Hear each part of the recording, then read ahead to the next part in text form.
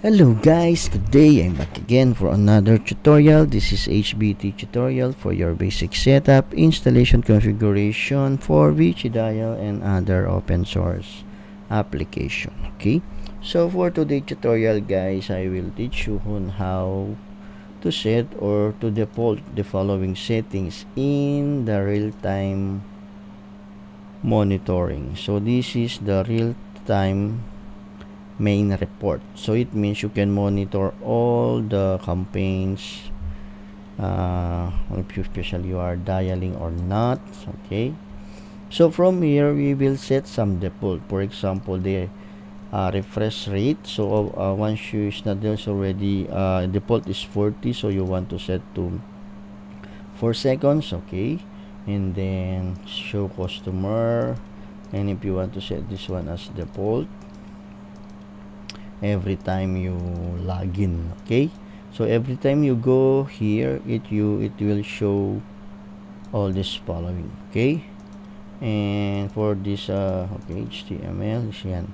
So if you want to go every time to real-time main report so it will goes automatically this one. So you don't need to set any of the following over here okay because if I refresh this one I will go to report and go back again.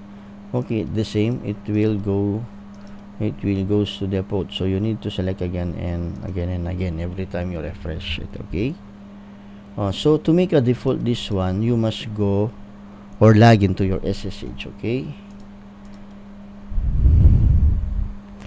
Okay this is my SSH let me connect so this is uh, ViciBox the latest version 11.01 I think. Okay so to fa uh, to locate the directory of the ViciBox you need to go to the cd srv htdoc or www.htdoc okay? So if you list down cd is to change directory okay ls list okay to list the data or the files inside the directory. Okay so you need to change directory again. Go to the dial folder okay?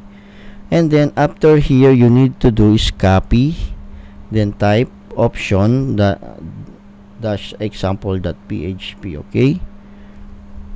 Okay and then just do a option change to uh, option to copy that php okay? After that you can uh, you can now start the modification.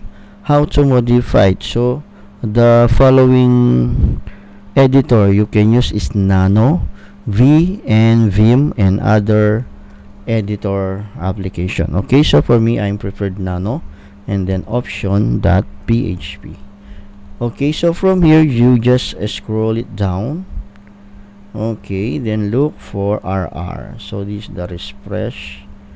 You can set to 4 seconds. And server displays call displays phone. So from here I want to show only the customer info. And then carrier stats. Okay. If you want a preset okay agent time.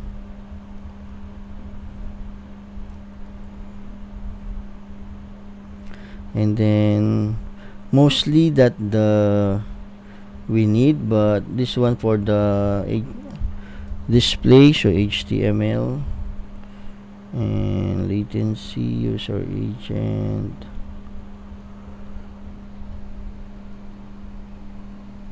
okay for the latency so you can set to this one. Latency to all okay? And then control O then enter to save control X to exit okay? If I check it uh, if I go here if I refresh so as you can see it's already automatic okay? So so you don't need to change the following over here. The the number from here okay? So most of that's already is already uh, update okay? So you you don't if you try to refresh and refresh so it will automatically set to refresh rate 4 seconds and all the default settings when I do first installs of the BG dial. Okay so hope you are enjoying our video for today on how to set the following settings to real-time campaign modification okay? Thank you guys and have a nice day. Don't forget to share our video and like the channel or subscribe so that you're always updated on our latest video. Okay bye bye